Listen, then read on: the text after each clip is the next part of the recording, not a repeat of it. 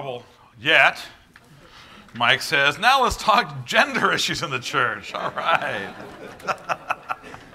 and it's my pleasure. My text is 2 Corinthians chapter 4 and verse 2, which I intend to apply to this topic.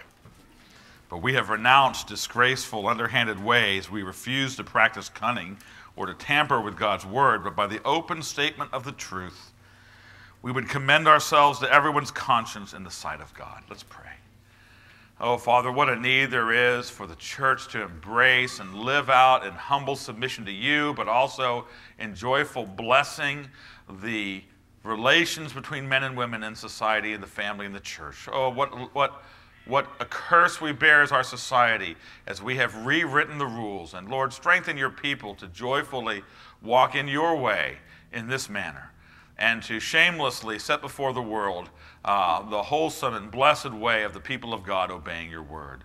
Thank you for the men. Thank you for the women. May your glory be revealed through both. We pray this in Christ's name. Amen. Well, as I've been saying, as we deal with gender issues in the church, and uh, particularly the role of women, I think it's the real issue. The biggest issue is our integrity and faithfulness to the Word of God, our, our willingness to stand before the culture and say, Thank you for your opinion. We're going to believe God's Word.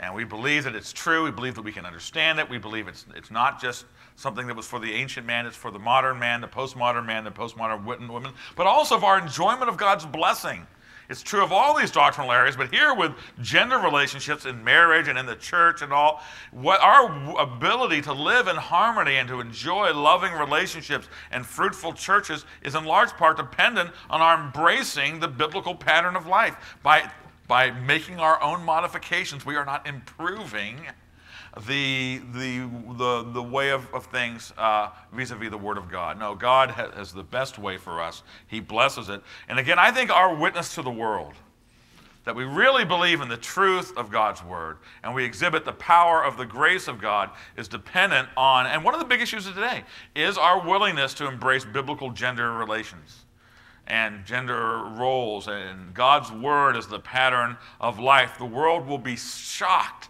and will think that we're nutty, but then they'll spend a weekend in our church and they'll go, Wasn't that lovely? and our witness is not based upon our ability to get them to think initially it's great, but as they see it lived out, they'll see that there's something they've never imagined before. So I think that's what's at stake. Now, what I want to do is I want to start negatively.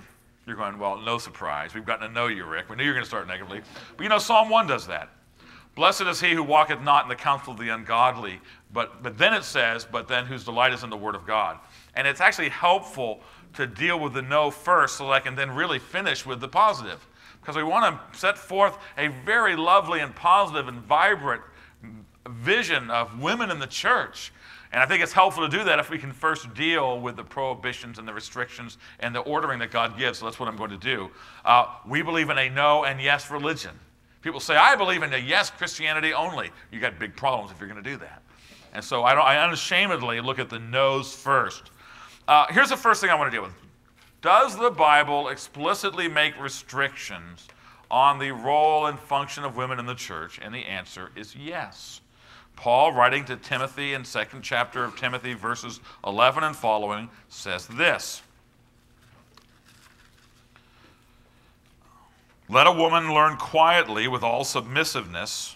I do not permit a woman to teach or to exercise authority over a man. Rather, she is to remain quiet. Now, those are very clear restrictions in the church and in the particularly the gathered worship and the life of the church and its formal life.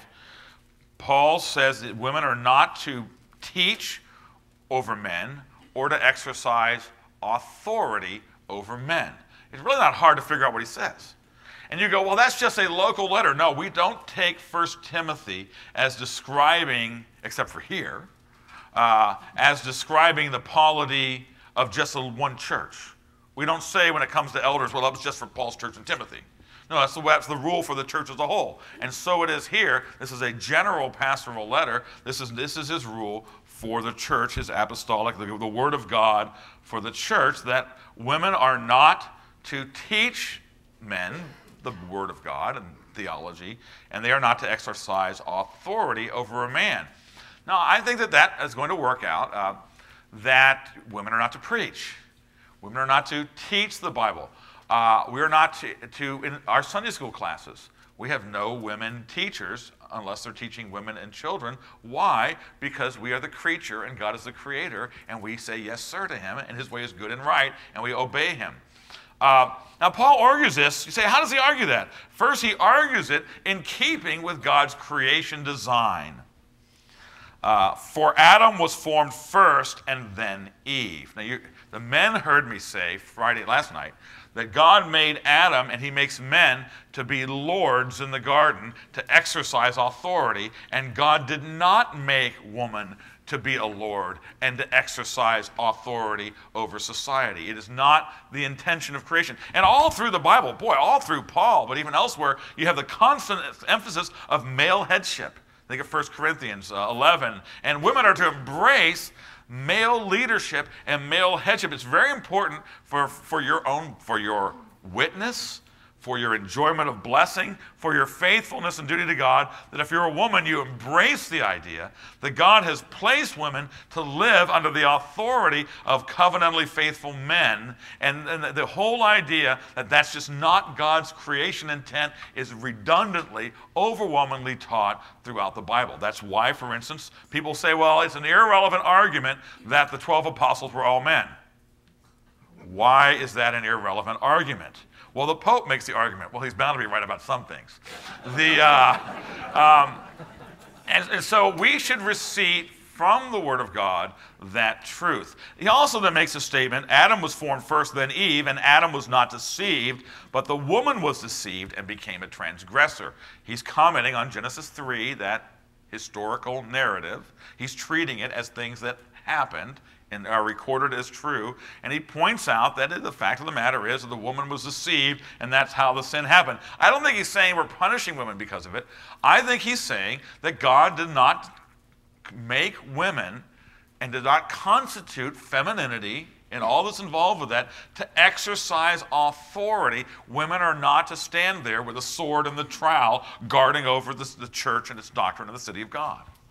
It's one of the reasons why, it's not the only reason, I'm going to talk about it a little later, but one of the reasons why when churches embrace women ministers, they tend to deny other doctrines. Why? Because by God's, and I, I, by the way, I'm not belittling women at all. I hope you don't think I am. But it's not God's design that women would be the ones who would exercise authority and hold fast the doctrine. The relational makeup of women is more likely to, to, uh, to not do that. And so Paul, basing it, again, by the way, notice how he thinks Genesis, the creation account, is, a, is to be taken extremely, excessively, literalistically, like as if it actually happened and has relevance. Uh, and that is why he says that. And it's not situational. People go, well, that's just Paul's prejudice.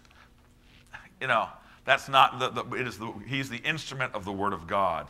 Well, he's, I love this one. Yes, it's true that the Bible says that, but Paul's just accommodating social norms. Look, the one thing you cannot accuse the Apostle Paul of, or the Lord Jesus Christ, is that they accommodated social norms.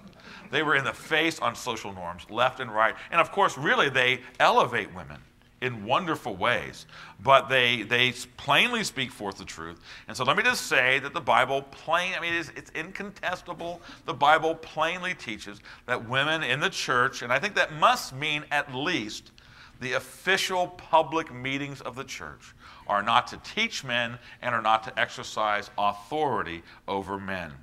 Now, it also is going to mean, and we'll see when we turn to the office of elder in the church, that the office of elder is, is commissioned for men only. Where do I get that? Well, let's look at 1 Timothy 3, verse 2. Therefore, an overseer must be above reproach, the husband of one wife. That is, that is a clear statement that it is males only who will be in that office. The same is true for the office of deacon. Our denomination has just had a three year brouhaha over women's deacons. A lot of our churches have unordained women deacons. It, does tend to be our northern urban churches. Um, and they will have, they'll, they'll say, okay, we, we, our, our, our polity only allows the ordination of men, But our book of church order allows irregular deacon helpers to work alongside the deacons. And a lot of our churches uh, have created an office of deaconess, but they don't lay hands on them, except that in practice they actually do, even though they said they wouldn't. Uh, so the question in our denomination for three years, and I praise the Lord that we really put it to bed this year at our General Assembly and said no. The Bible speaks sufficiently clearly. They said we need a study committee, and we've said there's nothing to study. There's no new information. We need to just obey the Bible. And you go, well, well why, why can't deaconesses, why can't women be deacons? Well, again, they are to be, verse 12 of chapter 3, let deacons each be the husband of one wife, and it is to be men. Now, the comeback will be, ah, Rick, I got you on this one, because open your Bible to Romans chapter 15, 16, verse 1. I commend to you our sister Phoebe, a servant of the church at Cenchrea. That word servant is the word deacon. It's the feminine noun form of the word that means deacon. So really the right translation is, I commend to you our sister Phoebe, a deaconess of the church at Cenchrea. What's the answer to that? Well, the word deacon has a non-special meaning that means servant. And I go back to Romans 13 and I read in verse 4 that Nero, the Roman emperor, is God's servant for doing good. It's the same word. Paul is not saying that Nero is a deacon and neither is Phoebe a deacon, although we honor her service to the, to the Lord. 1 Timothy 3 makes very plain that the office of deacon and the office of elder are restricted to men only. Why? Because God does not permit a woman to teach over men or to have authority over men. Why? Because his creation order does not have men under women, but women over men. You, will hear, you know, when you get, for instance, to uh, you know, Paul says in Ephesians 5, wives submit to their husbands. And people will say, well, the Bible doesn't teach the submission of wives to husbands, it teaches the mutual submission, because the previous verse says, let each of you submit one to another in Christ. Now, is that true? The answer is no. The Bible does not teach the submission of husbands to wives. It teaches the submission of wives to husbands. When Paul says, uh, submit one to another in Christ, he then gives three examples of it the submission of wives to husbands, the submission of children to parents, and the submission of slaves to masters. Masters do not submit to slaves, parents do not submit to children, and husbands do not submit to wives. And no, I am not comparing wives to children, except in that they both submit. By the way, everybody submits. My wife said to me, honey, I'm really, just really grateful to be a Presbyterian. I said, honey, I'm so glad to hear that. And I'm looking forward to hearing why you're so grateful to be a Presbyterian. She goes, Well, because while I'm under your authority, you're under the session's authority. And if you abuse your authority, I can go over your head to the session and they'll get you in line. And I said, Amen. I also submit. Not to my wife, I serve her. There is mutual servitude I love to say to my wife, sweetheart, how may your husband serve you today? Because she serves me like crazy. She serves me with five kids cheerfully, probably praying for me right now uh, that God would bless my preaching. It's my pleasure to serve her, but it is not my calling to submit to her. I do submit to the elders of the church. And everybody submits, and there's an order to it. And consistently, women submit to men, men, husbands do not submit to wives. Now, the argument is made, Tim Keller made the argument, that deacon, we can have, women can be deacons because deacon is not an office of authority but of service. Argument was actually made that, well, deacons don't have authority because they submit to the elders, and if you submit to somebody else's authority, you don't have authority. Well, does that mean Jesus has no authority? Because he submits to the Father? Here again, we're trying hard to make it fit the secular demand, fit the church. No, the office of deacon is an, off, an, office of authority over the ministry of works and deeds in the church. Remember the, the distribution of monies and foods to the widows? The deacons were given authority over that. And it is an office of authority. That's why we ordain them. And it is restricted to men in the church. And so let me just say here this is the Bible's very plain teaching. You're going to have to find a way around it, although why would we? That women may not teach men, they may not have authority over men. The offices of elder and deacon are designed for men only. Why? Because of God's creation design and because of the way He has made men and women. Blessed be the name of the Lord. Now, let me give you some fallacies then. Fallacy number one that you may hear is this and this is how I, a lot of people, here's, here's why we will formally uphold the teaching of the Bible while really undermining it. And here's an expression women can do everything an unordained man can do. You ever heard that? That is false. That is making the difference that of ordination when the Bible makes the difference that of gender. It's a way of avoiding the societal scandal and the scorn of an egalitarian society by actually saying, no, the difference is gender. Yes, there are things that unordained man can't do and ordained man can't do, but it's not because of gender, it's because of ordination. The issue the Bible is teaching is the gender distinction, and we're just not setting forth the Word of God plainly before the consciences of men to say, even though it doesn't cause it gets more, it, it sounds better that uh, women can do everything an unordained man can do. That is false. Women cannot teach men and have authority over men. Women cannot be deacons and elders, and unordained men can. They just need to do it. Um, and so it's just a fallacy. Let's not have these clever ways of avoiding scandal that don't represent the truth well. How about this one? Okay, women may not hold the office, but they may perform the function associated with the office. No, that is not in keeping with the Bible.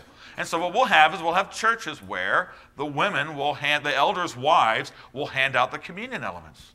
Why are we doing this? Well, we know why because the people who do this have conveniently written why. And we had a PCA church in Denver, Colorado that left our denomination because they had Pastor Brenda.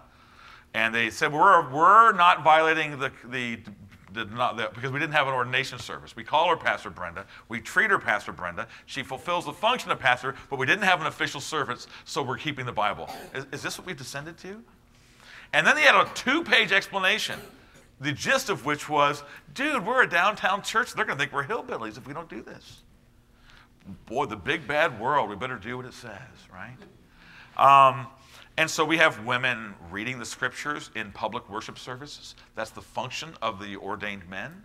We have women teaching, but not, pre- if it's in the evening service, it's not preaching. That's an unpersuasive argument to me. Loving the evening service, although I know you don't have one here because Satan, no, I'm just teasing you, board. Your board says today, uh, what, what's the sermon title? Destruction by, Destruction by Satan, no evening service. there it is.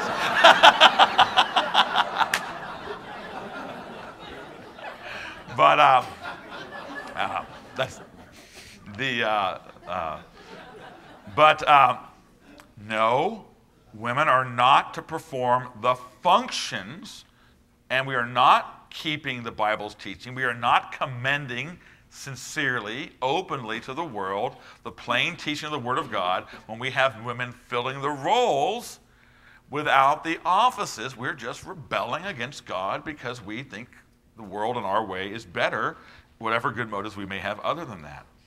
Here's, here, let me give you another fallacy. Look, women need titles to feel valued in the church. I just want to say this, not in my church. Women of my church are offended by that statement. You know the title the women of my church revel in? Christian. And you know the other title they revel in? Woman. They do not need a male title to feel valuable as Christian. When you walk into my church, you will, you will pick up, within moments of getting there, male authority and feminine beauty all over the church and the women do not need a title. I'm not, we have a women in the church ministry. We have a president of WIC, and there's kind of a function for that. But the women do not need semi official, semi ordained titles to feel valued in the church. It demeans the godliness of our women. Our women are delighted to serve Jesus humbly without recognition that his name might be exalted, his people might be blessed, and his heart might be pleased. That's all our women need. And for the men to say that they won't be motivated unless they get a title is demeaning to our godly women, the daughters of Zion that they are. Here's my favorite one fallacy number four. This was said at our General Assembly two years ago. It was not a persuasive argument. The women don't know what to do unless the General Assembly tells them. I'm trying to envision myself going back to my church before my 80 year old woman, before Bobby Hauser, who's 96 years old, who still teaches women's Bible study, who was a missionary for 40 years, who is uh, probably knows more Bible and theology than I do, and has mentored people. And I'm saying, Bobby, I'm now going to give you instructions on what you're to do as a Christian woman. She would either have struck me or laughed at me. Um, not to mention the many other and, and younger women who, who, who, have been mentored by other Christian women. We do not, I'm not saying we don't give instruction to women. I don't mind teaching the Bible to women about womanhood. Uh, I don't know if you've seen the book uh, Female Piety, the Puritan book by John Angell James. Uh, he was not married. And he wrote a book on female piety as a chapter on advice to breastfeeding mothers. He's, a, he's a, an unmarried pastor preaching the word of God, and it's wonderful. You know, let me give you advice how to be a good mother to your first child. It's a pastor who's never had children, but he's just expositing carefully the word of God. And men are not, men can be women's retreat speakers. Women can too, but there's nothing you can have your pastor sometimes. Uh, but but the women do not need special instructions on what women's ministry looks like as if they're not able to do it. So there's all these fallacies. Uh, the fallacy that says women can do everything unordained men can do. No, they cannot. The gender distinction is what the Bible emphasizes. Weak women cannot do the roles associated with the office, and we're being obeying the Bible. That doesn't work. Uh, they don't need titles in order to feel valuable, and they don't need special instruction from the men. What they do need to do is to positively embrace the Word of God for their lives. Uh, this is not cookie cutter. We're not putting you into a mold, but God is a God of order. Femininity ha- has certain dynamics, it has certain callings, and we joyfully embrace it. My wife, uh, she's fairly militant on these things. She gets really, this kind of evangelical feminism really gets under her skin. And she will tell me her favorite worship services every year are ordination services. I say, why? They're kind of long and there's kind of boring elements. She goes, I love it when the elders go forth. All of them. We have 18 ruling elders, and many of them are old. You know, elder usually means old. And they are, they're grave, and they got knuckles, you know, and they get up there, they're loving, they got broken hearts for God's people, they're loving fathers of the church. She goes, I go up there, and there's all these men, and you're praying, and you put your hands on this man, and she says, I feel like such a woman. I'm in the presence of godly covenantal masculinity, and I love it, she says. And we embrace biblical femininity. Um, and, and part of that means is saying, yes, there are things that I am not called to do. And you know what? I don't need to. My wife uses the expression, this is Eve's new apple. It's the one tree that she can't have. That's all she thinks. That's what's happening in, evangelical feminism. You hear women speakers. Some of them I know, and they'll, they'll, they're angry, and they'll say to women, You can't be an elder. See, you're being demeaned. There's all these things you can do. I'm going to talk about it. All this rich field. There's one tree in the garden you're not able to eat of, and that's the only thing you care about.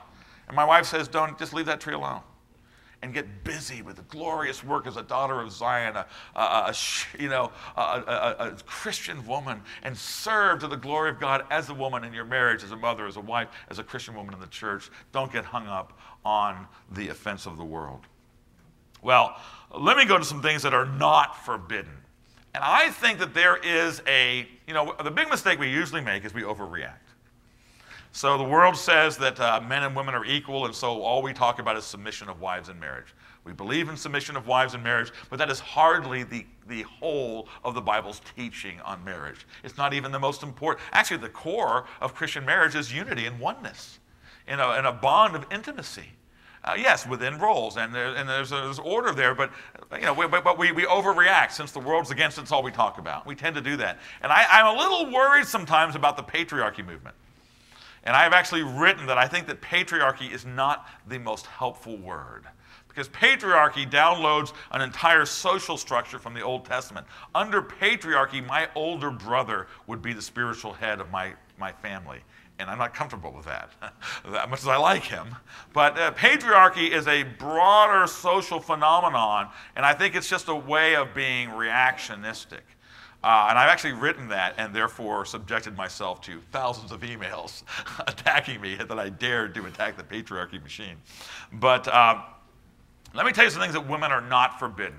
Number one, they are not forbidden from church membership. There's a practice that sounds good, but I think it's, it's wrong-headed, that says we don't have church membership, we have household membership. And so we don't have congregational meetings, we have head of household meetings. And, and the idea is, is we're emphasizing the covenantal structure. You have a head of the household, and he goes, he represents your family, and asks your, when the father comes home, he tells you what happened at the meeting, and he voted for your family. And we're emphasizing the role of the father in the church. I get all that, it's kind of cool. But you know what? It's disenfranchising the women from church membership. They're Christians. They're church members. They need to hear from their pastor. They have a, you know, husband wife is it, it is the primary relationship in human society, but it is not the only relationship in human society. I've had husbands who are abusing their wives, and this church stepped in, and the husband goes, Pastor, it's none of your business. And I go, Listen, pal, she's a Christian and she's a member of this church, and you answer to me in the session of this church. And my wife's right. She can appeal. Uh, she doesn't, she's, thinking, I don't think she's worried about anything, but she's right. I am under their authority, and she's not my possession. I don't own her. She remains a daughter. She remains a church member, and she's a wife. That's not, the, that's not all that she is, and she's not in that little box. And she needs to, be, needs to hear the pastor explain the budget. And she should have the rights of a Christian in the church. Nothing we say, so let's not go overboard with that. And they'll say, well, look, a single woman is the head of her own household. Yes, but a wife should not lose her church membership because she's under the headship of her husband. So I'm very much against what I think it, it sounds good, but it, it really is unbiblical overreaction. Women are church members. Women can pray. Uh, your pastor is preaching 1 Corinthians. We were talking last night about 1 Corinthians 11 and 14, very interesting passages. I think I'm going to, I'm, I'm inter- I should I'm interested in what you're going to say because I have not studied it in, in the depth that you're going to, Pastor. But I think that what we were saying last night is, is where I'm, I am as well. Uh, 1 Corinthians 11 talks about women praying. And I think he's talking about like the prayer meeting. In the prayer meeting of my church, the woman, a woman may go to the microphone and pray. Why? Because that is not the gathered church with the authoritative teaching. It's out, you know. It, now, the interesting thing is, chapter 14 is going to say, in the ecclesia, in the assembly, let a woman be silent. And, and I, I really believe that's the, for in our terms, it's the worship service. It's the gathered meeting of the church. The women are to be submissive and, and learn and quiet. But there are other gatherings where the woman may, you know, make a contribution. She may serve on committees. She may, uh, we're, we're actually, uh, we have architects to expand our sanctuary. We've got a couple of women on that committee who are in, we got an interior designer, and man, she knows what she's talking about. And I praise God she's on that committee, and she has a lot of influence on that committee because she has stuff to offer, and we need her on it, and she's working like a slave for us, and it's great. And uh, uh, I have no problem at our, we have a Wednesday night prayer meeting. Hope you all have a prayer meeting, but people don't come, but we keep doing it. Uh, and I, I, don't mind at all when a woman walks up to the microphone and says, Lord, I want to pray for my, our children. You know, I, I, I think the Bible allows women, some people may differ on that, but women may pray. Women may give public speech, not in the gathered ecclesia, not in the assembly of the congregation for worship, but there's all kinds of settings when women may speak before the congregation. They're not teaching, they're not exercising authority over a man. Women may exercise their gifts. Let me give you an example uh, Christian counseling. I have no problem employing the gifts and the training of a Christian counselor who is ministering to a man in my church under the authority of the elders of the church. And I have been accused, you're putting a man under the authority of a woman. No, I am not. In fact, when we do that, we have an elder present for the meetings and, we have one going on right now. The man's wife is there too. And this woman, who's our counselor, is especially gifted and able. She's sound, and she has an ability, in part as a woman, to help this guy deal with some of the issues of you know in his life. And under the authority of the elders, she has free reign to use her gifts in appropriate settings, and we praise God for that. And I don't feel like we're comp- compromising anything, so we don't have to be overreactive. We can be biblical. We can set things up, and we, we agreed in this case. We're going to have an elder present. And, and she said, I praise God for that. I need him there, and I'll appeal to him. And the guy gets out of line, and she'll say, you know, Elder, I defer to you. And he gets the guy in line. But she has a role to play. One of the great examples of this is Priscilla and Aquila. You know, uh, Acts says that Apollos, shows up in Corinth, and he's like this dazzling speaker, but his, he's got some holes in his theology. He only knew the baptism of John the Baptist. There's some debate of what that means, but it's like a big issue. He's got some major doctrinal holes. And it's interesting that when we are told that Priscilla and Aquila met with him in private and, and taught him proper theology, the text emphasizes Priscilla's role. It does not say Aquila and Priscilla, which would be far and away the norm. It says Priscilla and Aquila. It puts her first. And the way the Greek language works, that would be giving emphasis to her. And I, I think that what happened was Priscilla, was, she's a very strong theologian. She's been listening to Paul all that time. She's gifted in this. And she, she and her husband have uh, Apollos over and says, uh, Apollos, Paul wanted us to talk to you. I'd like to, honey, would you explain the baptism of Jesus? And I, I, that's why I'm not afraid. The Bible shows that. And so, in private settings, not lording it over him, women may encourage, women may serve. And so, we have a we, we have a vibrant roles for women in the church, and women may have authority and may teach over other women and over children. Now, here's where some of our leaders are going to go. Oh, there it is. We get the children. You know what my response to that is? It grieves my soul to hear a Christian woman sneer over the ministry of children. Because Christian femininity is one that loves children. Not all women can have children, but Christian femininity does not despise as a low thing the, the ministry of children. I, I, get upset when youth pastors, I meet some guy and he goes, I go, So what do you do at the church? Yeah, I'm the youth pastor, but I, I'm hoping to get out of it. And I said, The Lord rebuke you because you are you're not ministering to little kids you're ministering to pastors and doctors and lawyers and elders and heads of households. They're just kids now but they're just as valuable. In fact right now is the golden opportunity. They're likely to remember you the rest of their life. The vbs teacher the sunday school teacher. Don't ever say women oh i just get to do children. Praise god. Before i was a preacher i loved to work in the nursery. Why? Because i love children and I kind of miss taking my turn in the nursery, and I can't. I'm preaching. But um, the, uh, well, the pastor's taken off. He's in the nursery. This would not be wise. But let's not despise the ministry of children and, and the ministry of exhortation to women. Go to Titus 2.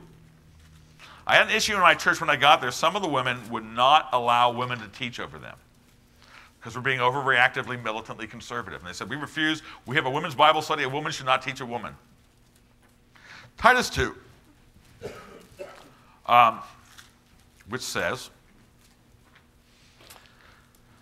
uh, beginning in verse 3 Older women likewise are to be reverent in behavior, not slanderers or slaves to much wine. They are to teach what is good, and so train the young women to love their husbands and children, to be self controlled, pure, working at home kind, and submissive to their own husbands, that the word of God may not be reviled. And so the Bible gives the charge to women to come alongside other women. I tell you what, one of the things that I do not do, I do not have any long term, extensive, intimate counseling relationships with any women. Why do I not do that? Because I really don't want to have an affair. I mean, really, don't, I don't want to end my ministry that way. And I, it would be wrong for me to think that I'm above it. I could do it, therefore I don't set my, I don't want to. I want to be faithful to my wife. I don't, so therefore I don't put myself in the situation. But you well, doesn't the woman need somebody to come alongside her and pray with her? And the answer is yes, the older woman. And I've, uh, I mean, if you're a mature, grace-filled older woman in my church, I have got you working. And I'll call, I'll call a, a 70-year-old woman and say, hey, uh, can I get you to meet weekly with this 27 year old woman who needs a mother figure in her life? To come alongside with her and, and weep with her and open up the Psalms and pray together and walk her through and the blessings going on in my church with the mentoring relationships. My wife meets, it wasn't me setting it up, but one of my elders' wives, who is just a sunbeam of grace and love and truth, comes over to my house once a week to help with the homeschooling and then to pray with my wife because of the burden she bears. And boy, do I love her for that. And what a ministry for women to become. And you know, we need strong women of the word. Paul, in one place, he derides weak little women. Don't be a weak little woman. That's not our view of, of oh, I'm just supposed to be this weak little woman and my husband tells me what to do. That's what the Bible teaches. Be a strong, spiritually beautiful woman and who can love your family and serve your church and be a blessing and training other women, and there will be an eternal bounty flowing out of your life. Now, I don't know your particular life. You may have a vocational calling that has a, but this is feminine womanhood, and it's a beautiful and lovely thing. We are to fully embrace it. Um, Let me look at some of the positive instruction to women then. Let's go to 1 Corinthians 11, beginning at verse 2. Uh, I'm not going to exegete the whole passage or pastor. This is the head covering passage. No, this is no, that's not. This is the. Uh, let me go to it. This is the women under authority of men. Uh, now I commend you because oh, this is head covering. Yes, it is. But the point is that women are to embrace even the cultural expressions of male headship. And so, women, I've already covered this, but women are to positively embrace male headship. We've got a single woman in our church whose parents are not Christians who don't live nearby. She does not do free agent dating, right? What are we thinking? I'm trying to picture Isaiah sending his daughter to a pub to meet a guy. I don't think Isaiah's going to be doing this. You know, and if you want to, if you're a single woman in my church, yes, you get a little bit more of my attention, and you're likely to eat at my house with my family a little more often than the average person. And if some guy wants to date you, and we pray that the Lord would do that, then he's going to meet with one of your elders, and they're going to have a conversation, and you're going to date under the covenant headship of a faithful man. Women are never, a Christian woman is to live her entire life under the loving, faithful, strong, nurturing covenant headship of a man. It's a father, and I like to tell fathers at weddings, you know, when you hand her over to her husband, that's not mere liturgy. that is a covenantal transfer, and so I hope you really trust that guy, even though he's got room to grow. And when a man is to embrace, and women are to live under covenant. Now you go, that's kind of frightening because, you know, I know men, I know. But you have a God who's watching over you, and you're not at their mercy. And, and that's why, by the way, this is why you go to a sound church with real eldership, with real serious, strong Christian men to keep your husband in line. People come to me, I get people come to me, and they go, We'd like to do marital counseling. And I go, I don't recognize your name. Do you go to our church? Oh, no, no, we don't go to your church. But you want me to do marital counseling? Oh, yeah, yeah. Why, where do you go? And they go to some happy, clappy rock and roll church. And I go, why do you go there? we love the music. Then why aren't you going to your pastors? And they go, right. Well, you, frankly, you may get one of my assistant ministers, but I do not have time to do marital counseling with people from rock and roll churches who want, yeah, but they, why do they want, uh, why do they want us to do it? Because for all of our faults, we are at least aspiring to be grave, biblical, faithful shepherds, and their churches are not. Well, don't go to those churches. Here's a, here's a simple rule. If you love the music of your church and, the, and the, the brilliance of its electric guitars, but you would not think about taking your pastoral needs to the pastor, you are making a poor choice. So, uh, but you're not on your own. And your, you know, your submission, but wives say to me, you know, I'm supposed to submit to my husband, but I don't really respect him. You, have the, you will make him respectable your admiration. And you do it under, wives, submit to your own husbands as to the Lord. You do it for Jesus' sake, as an act of worship to Jesus, and He will use it in your husband's life and get your hands off the steering wheel. If he ain't going to drive, then the car doesn't go. You just sit there and wait for him to drive the car. Because as soon as you grab the steering wheel, he's going to put on his earphones and listen to the game. You refuse to play the male roles. You have, I read a woman who said, you know, if my husband cares so little for my family that he doesn't even map out the route and get the MapQuest route, I am not going to do it, but I'm going to have lunch ready when we get there. Wherever we run out of gas, I will feed our family. and sooner or later, he will get the idea that he needs to prepare for our trip. Amen. Amen. Christian femininity endorsing and improving Christian masculinity. Uh, so embrace that. In general, women are called, let me just say this. Uh, I was doing a radio interview. So I, I, did a men's conference last month in Fort Lauderdale, and the radio station did an interview with me. And they, the guy, he was doing this. There was a rock, there was a Christian contemporary song playing beforehand about beauty and beautiful. And the guy goes, "Speaking of beauty, we're having a men's conference." And I, go, I said, "Look, we don't do beauty at men's conferences, all right?" Uh, really, men do not do beauty. When God made Adam, you know, it's an industrial project. God fashioned the woman. And there's artisanry, and there's beauty knit into a who woman. Guys say, single guys go, I'm not attracted to any women in the church. I go, women are attractive to men. Yes, you are. Stop trying. It's your ego in the way. Women are made to be lovely to men, and women are lovely to men. And, and it's not just physical. It's, it's fill the church, fill your home with the beauty, the feminine beauty of a heart given to Christ, right? And you get over and over again, 1 Peter 3, that great statement of women's liberation. Let your beauty not be the outward adornment. By the way, there's nothing wrong with modest outward adorning. Physical beauty is part of it. My wife's always upset about sanctified frumpiness. Frumpiness itself is not spiritually virtuous.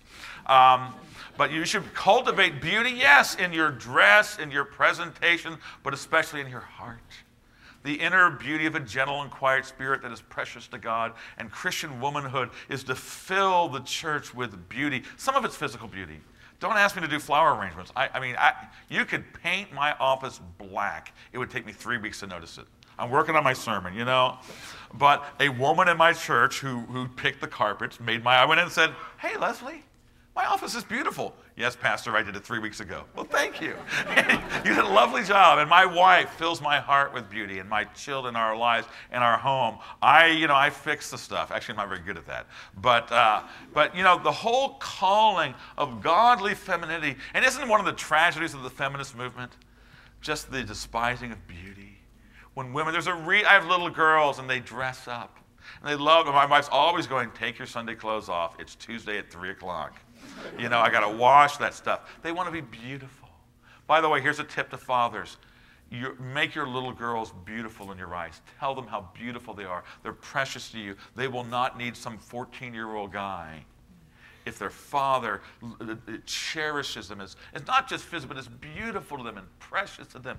Femininity involves that. And let me just encourage the women to embrace your calling to fill your home with the beauty of spiritual joy and, and godliness and the Word of God and righteousness, peace, and joy, faith, hope, and love. And the, the church should have the marks of feminine hands on it. Um, if I were to, we, got, we have a, I think there's a committee. I, I, try not to know about these things. I think there's a committee of decorations, and I wouldn't even think about getting involved in that. I would mess it up. But the beauty of the feminine works, and, and of course, primarily that comes through good works. 1 Timothy 2 9 to 10. Let's go there. I'm going to run out of time, so I got to wrap this up.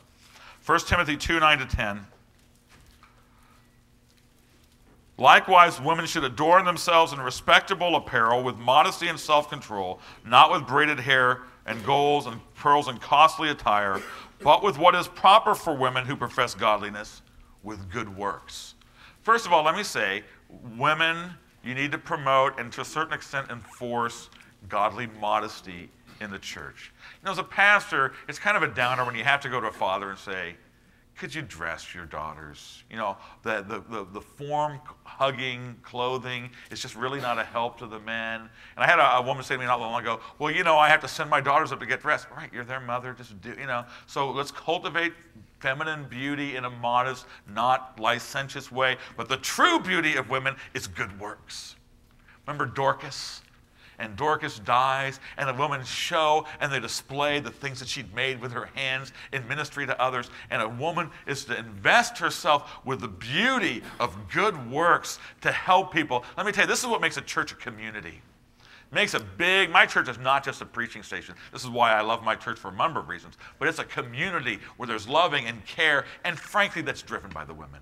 The men are involved, but it's the women who are, yes, they're baking, they're sewing, they're knitting, they're calling, they're following up, they're in, devoting themselves to good works, and that makes the church a community. Uh, there's a statement of Deborah. Well, there was, there was not a mother in Israel, so God raised up Deborah.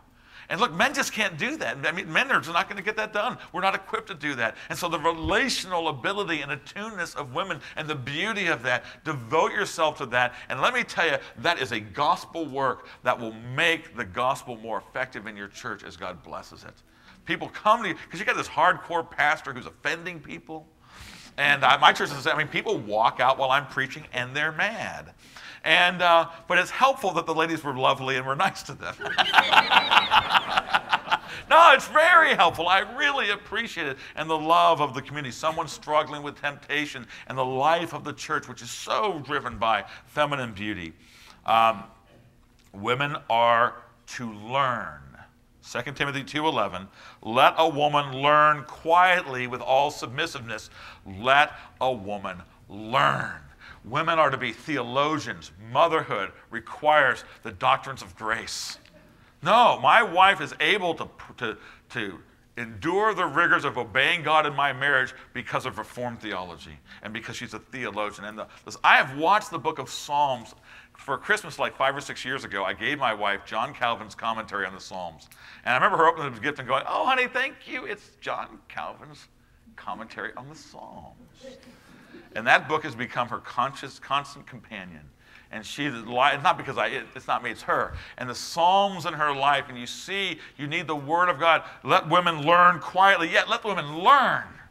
You need the Word of God. My wife will get up. I'm not trying to tout my wife, but it's just the truth. She's got five kids, and she's got me, and she gets up at like 5 o'clock to be on her knees in prayer and to reading the Word of God. And sometimes her knuckleheaded husband has said, Honey, you're so tired. Can you sleep in? And she gets mad. She goes, I need the Word of God. And the Word of God is my life. And I'm able to be the Christian woman I'm trying to be and to serve God and to love you because of the Word of God. So get out of my face, husband. The, uh, you know. Um, okay, Second Timothy, 1 Timothy 2.15. Yet she will be saved through childbearing if they continue in faith and love and holiness with self-control. So women go, oh, great, all I am is a mother, and if I can't have children, I'm nobody. That is not what he's saying. Uh, the word saved has a range of meaning. Sometimes it means justification, sometimes it means sanctification. It's the whole renewal process. Here it means sanctification. What Paul is saying, that you will spiritually grow. Salvation will work out in your feminine life as you embrace a feminine pattern of life. He is not saying if you can't have children, and what a grief that is that you're not being saved. But he's saying, embrace. Remember, it was not good for the man to be alone. I will make a helper suitable for him, and she's a helpmeet, and she's oriented on him and her family, and she's a mother, and she embraces motherhood. She's a wife, she embraces wifehood. She doesn't fight against the feminine order, she embraces it, and salvation extends through her life. She's sanctified by that. What a great ministry we need today. I mean, honestly, it, I actually, I want to say, I'm actually fairly sympathetic to the feminist movement because it really is a result of male sins and male abuse and male neglect. And they're just fed up with doing the same job and getting paid less. That's not right. And they're mistreated by their fathers, and their husbands or little boys who just watch games all the time. And, and they're fed up, and so they're fighting back. But the problem is, they're embracing male sins as the answer. And so you have uh, the hard edged woman. I, I, was in the corporate world. I knew many lovely corporate women who were miserable because they, they had learned that if they embraced femininity, they were going to lose out. Now, part of it is men our women need us to embrace the masculinity we were talking about last night, so, you know, so that they can, without fear, embrace in what is going to bring life and blessing to them. But Christian women embrace, and what, a, what an example you'll be to the women of our society who visit your church that you will freak them out and they may mock you. Uh, our church reeks of motherhood. We had a couple come to our church a while ago, and the husband brought her, and she kind of didn't like it because it was con- not contemporary. And she was, she told me later she was embarrassed to say it. She said, You know, when I first got here, I was really mocking the, the motherhood. Minivans, children everywhere, you know, mommies. And she goes, and I, and I thought, and now I look back and I go, What was wrong with me? That I thought I had to be a sophisticated semi man, and I was offended. She goes, Now I praise God to be around mothers and grandmothers and women embrace. Am I saying that you can't use, you say, Look, Pastor, I've got special gifts in mathematics, I teach math. Fine. Work it out. Glorify God. But embrace a feminine pattern of life. And that's how salvation advances. Sanctification happens in your life. Train the younger women. Well, let me conclude by going to uh, 1 Timothy 3 which is such a great, uh, uh I'm sorry, 1 Peter 3, such a great passage. One verse for men, but it's a doozy and a great verse, but six verses for women. Likewise, wives, be subject to your own husbands, so that even if some of them do not obey the word, they may be won without a word by the conduct of their wives when they see your respectful and pure conduct. Do not let your adorning be external, the braiding of hair, the putting on of gold jewelry, jewelry the clothing you wear, but re- let your adorning be the hidden person of the heart with the imperishable beauty of a gentle and quiet spirit, which in God's sight is very precious. For this is how the holy women who hoped in God used to adorn themselves, by submitting to their own husbands, as Sarah obeyed Abraham, calling him Lord. And you are her daughters if you do what is right, and if you do not give in to fear. Well, isn't the Bible psychologically profound? Don't give in to fear. The Bible says if you as a church embrace biblical gender roles, you're going to be a bunch of fundies and nobody's going to like you. True, but God is sovereign and He sends sovereign grace and He blesses it anyway. That way He gets the glory. Don't be afraid to just cheerfully obey the Bible. I had a woman attend my church recently who said, It seems to me, Pastor, that the only, uh, the elders here are all men. I said, Yes, ma'am. In obedience to the Word of God, all our elders are men. She goes, That deeply offends me. I said, I am sorry. And I've never seen her since. Is that going to happen? Yes. It's not my fault. It's not my job to tamper with the word of truth so that that woman's not offended. I'm not trying to offend her, but we set forth with don't give in to fear. Let this church, along with the ministry of the word and along with the whole counsel of God, including creation, also embrace the Christian life and Christian gender roles. Godly men who are servant lords, who work and keep that was our talk last night, ladies. And Christian women who say, I'm going to devote myself to good works and godly beauty within the roles and the, and the ministries that God's given me. And, and people will say, if you do that, you'll lose out. And our answer is, ah, but you forget that there is a God. For not only does it work because, you know, he knows what he's talking about, but because he blesses it because it glorifies him. Yes, when in the face of the winds of culture you say, let God be true and every man a liar. We refuse to manipulate or tamper with the word of God. We hold forth the plain word and we want to obey it because it's the way of life. It's wholesome, it's good, and God will be pleased. It will glorify him and he will give us his blessing and we will, we will give up all the other advantages. If only we can have the blessing of the sovereign God of grace who loved us and gave his son to die for our sins. Do not give in to fear. Hold forth the word of God simply with integrity, and may God bless you. Let's pray together. Uh, Father, I do pray for that for all of us. These are just some areas when it works out.